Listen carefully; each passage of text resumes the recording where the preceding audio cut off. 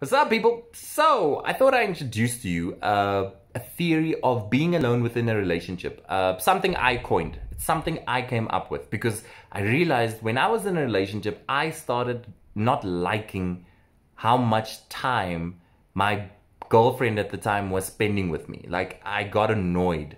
And what I realized was, as soon as we got into a relationship, we kind of gave into the idea of the relationship, which means the relationship nearly prescribes what kind of behavior we need to showcase within you know this this construct. So it means now that we we in a relationship i gotta spend like most of my time with my my girlfriend. I gotta talk to her all the time. I gotta message her and i gotta just give so much of myself to my girlfriend and kind of lose a bit of what i used to do before meeting her and that over time does have a massive impact on you. You kind of feel smothered in the relationship because it's just like, shucks, I'm doing everything with my girlfriend. I'm doing everything with my boyfriend. When do I get me time?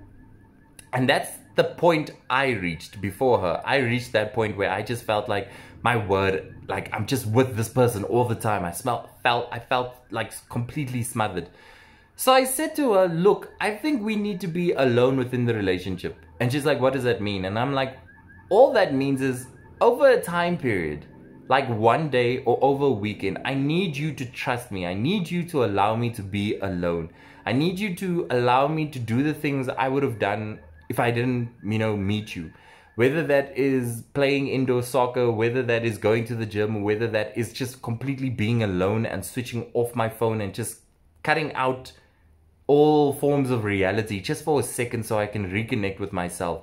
I need you to trust that I will come back to you and I will feel a lot better.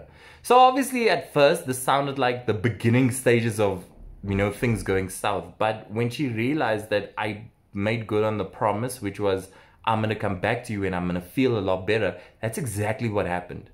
And naturally when she saw that happen she picked it up in terms of energy I told her she needs to do that as well. So whatever she would have done outside of the relationship, if she wasn't part of a relationship, whether that is go play netball, go play soccer, um, hang out with her friends, she was into arts and crafts, hang out with the family. I told her take a weekend off and just go reconnect with yourself for a second.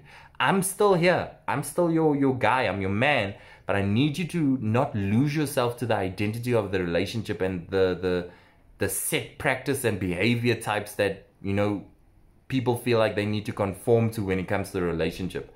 And when she did that, again, it made sense to her. She felt the energy difference and the the the appreciation she had for both sides. So it no no part of her was ne- neglected. The relationship was there, but also she felt like she was reconnecting with herself and what she wanted to do. And the obligation of doing everything together was never and and and you know kind of slowly dissipated. So I want to encourage you when you're in the relationship, don't allow the idea, the construct of the relationship to allow you to kind of lose yourself in the and lose your identity within the relationship.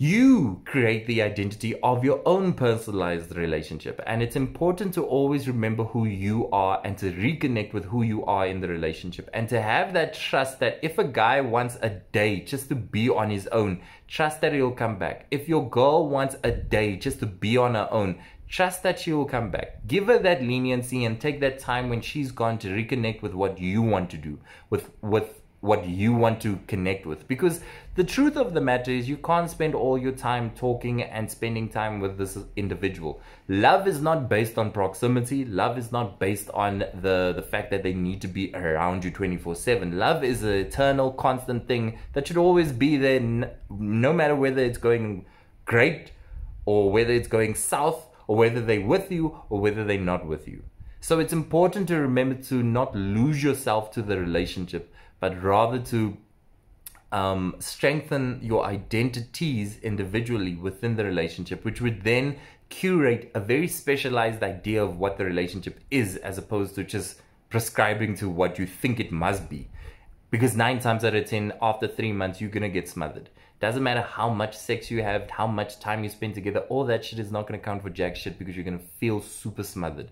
You're not gonna feel like you have space, time to breathe, time to think. You're walking on eggshells.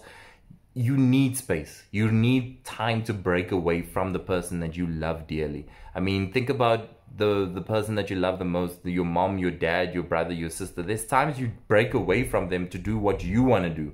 The same applies to a relationship. So implement the idea of being alone within the relationship, even if it means, I mean, one of the most beautiful things I enjoyed was when she was with me in the room, but I did what I wanted to do and she did what she wanted to do. So whether that was me playing PlayStation for like three hours on end and she was watching Kardashians or Cake Boss, which she enjoyed, we were alone together, which is a powerful thing. It feels so good to know that the other person is there whilst you in your element. It's a beautiful thing.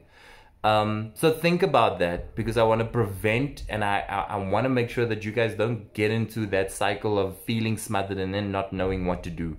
Try the simple technique of just allowing yourselves to be alone within the relationships. It will do wonders in your relationship and will only strengthen not only the trust you should have for each other, but also the appreciation that you have for each other. It, it really will. It worked for me and I'm hoping that it works for you. All right. If you're watching this on YouTube, please make sure to comment and let me know whether this works, whether this makes sense. What's your take on this approach? Again, this is not something I learned off 702 or Carte Blanche. I came up with this purely based on my experience being alone within the relationship.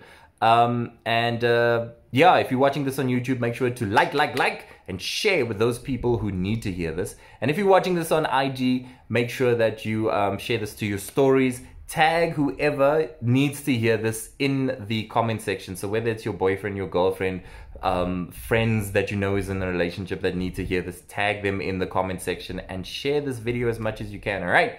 Thank you so much. Happiness to you guys.